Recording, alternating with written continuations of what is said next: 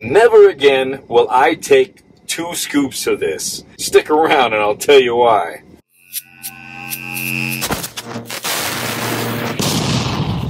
So what's happening guys? Hope your day's going well. Today we're going to review Pandamus, their non-stim pre-workout here. We're going to go over the ingredients so you know what you're putting in your body and we'll go over my personal experience on this bad boy. Get the flavor out of the way. This is supposed to be a green apple bubblegum flavor and on a scale of 1 to 10 this hit a 9 for me. They did a really good job because this label is packed so flavoring that they did was fantastic. Now getting into the ingredient profile. So right on the top, we got a one scoop, two scoop dose. This is going to be a 40-20 serving and one serving size is supposed to be 15.1 grams according to Panda. And I put it on my scale and it was 15 grams. Good job, Panda. So right on the top of the label, 11 grams of citrulline.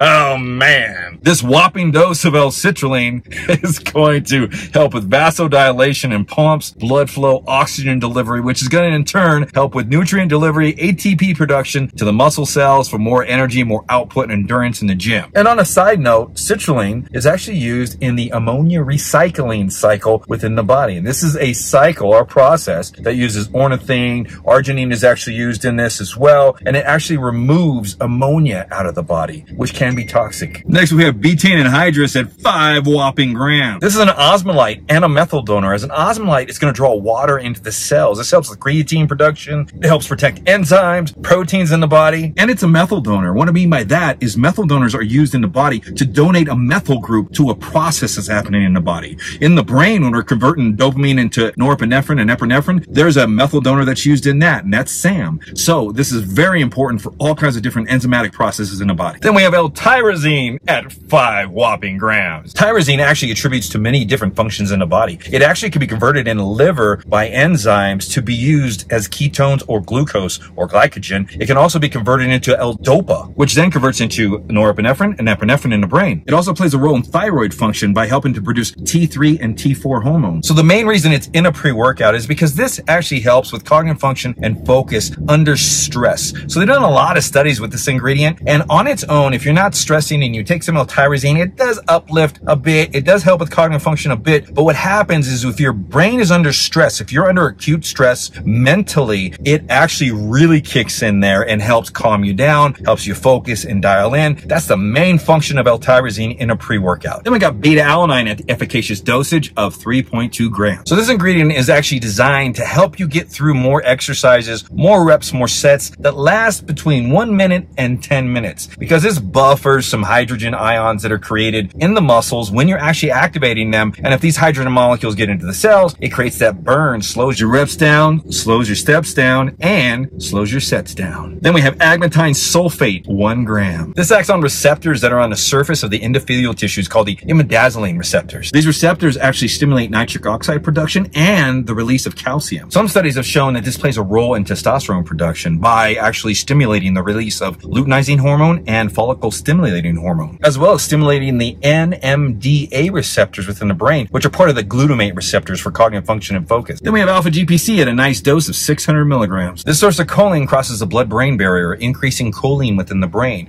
That choline is going to be drawn into the cholinergic receptors, producing acetylcholine. Choline is vital for cognitive function and focus, also for energy production on a cellular level. Then we have the tripeptide Vasodrive AP at 508 milligrams. This is made up of the three peptides, valine, proline, and isoleucine. This ingredient couples super well with other pump ingredients because it actually increases eNOS, which is endothelial nitric oxide synthase, which is an enzyme that helps with the production of nitric oxide within the blood vessels. And I've said it before, this performs somewhat like some blood pressure medicines out there, which are called ACE inhibitors. ACE inhibitors actually stop the conversion of angiotensin 1 to angiotensin 2. If that happens in the body and it gets to angiotensin 2, then it constricts the blood vessels. So this blocks that process as well, just like some blood pressure medicines. Then we have Mucuna pruriens, 98% L-DOPA at 100 milligrams. Not only is this going to increase dopamine within the brain for cognitive function, focus, feel good, a nice sense of well-being, but it also helps fight free radicals. That's because this is a scavenger of waste byproducts within the brain.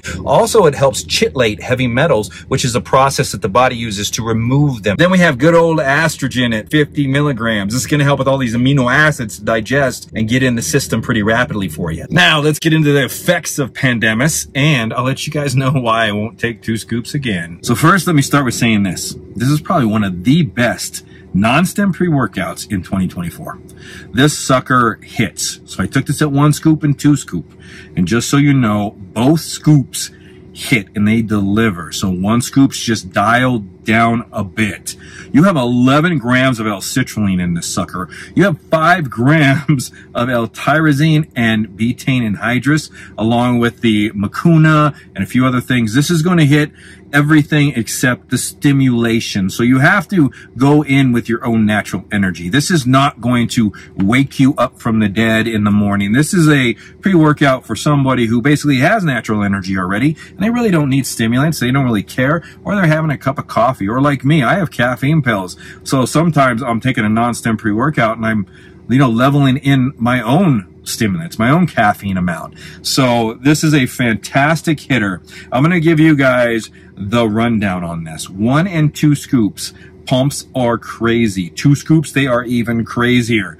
This is endurance driven, especially if you can move and you can get things moving in the gym with some natural energy or some caffeine. This will get you pumping. It'll give you some endurance. It's going to give you blood flow. You're going to be tight for hours on two scoops and on one scoop, it's going to keep you going for a few hours as well. And this is going to deliver as far as pumps goes. It's cell swelling and it's veiny at the same time. Very good job, Panda. I appreciate you guys. This was a good product.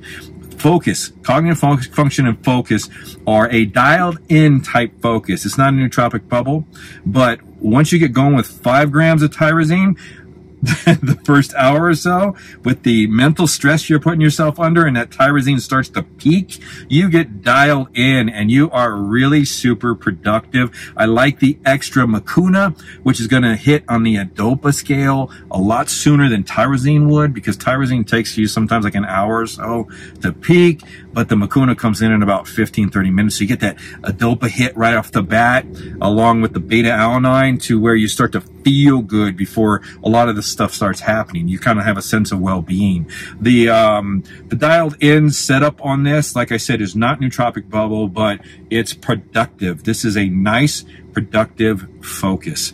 So I can't say anything about energy because that's going to have to come from you, natural energy, but the pumps are insane on two scoops. One scoop is fine and the focus is insane for a non-stim pre-workout that's healthy, that's pretty damn crazy with the dosages here. And I want to be honest with you, one scoop is fine. Then you can turn this into a 40 serving because keep in mind, the more pumps you get, is not going to make you bigger overall. So basically you want to be able to function. You don't want to get too tight. And sometimes you just don't need the extra. And they really did this well. Like for those that are really into trying to get swole looking in the gym, take the two scoops. For those that are looking for productivity, nice pumps, blood flow, uh, one scoop's going to be perfect for you guys. You're going to still get the veininess, the cell swelling, and all that stuff.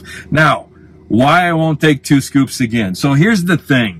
When it comes to products like this, and this is my personal experience, L-tyrosine, and I've talked to manufacturers before, and when they come to me and they say, hey, how's this profile? And I see L-tyrosine in there at more than 2.5 grams, I cringe for myself.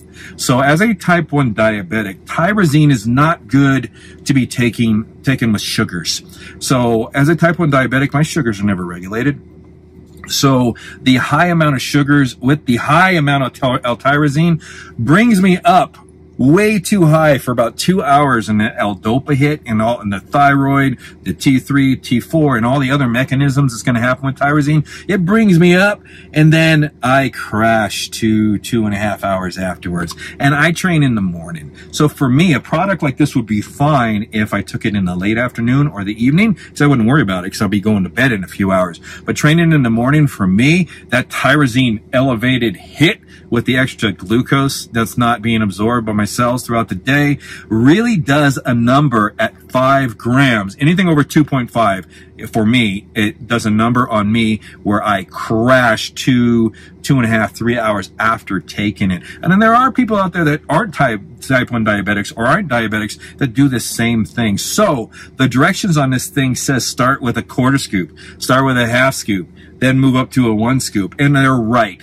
They're taking care of you guys with the information as long as you read the directions. And you want to start kind of minimal first, just to make sure that you're reacting well off of 11 grams of L-citrulline, one gram of agmatine, five grams of betaine anhydrous, five grams of tyrosine. So come on. So don't just jump right into it unless you are familiar with these loads and this type of a dose product, then go and jump into it. But other than that, this was a fantastic experience. This is a great product. I hope the review helped you guys. If you guys do have any questions or comments, leave them down below. You know I'll get to them.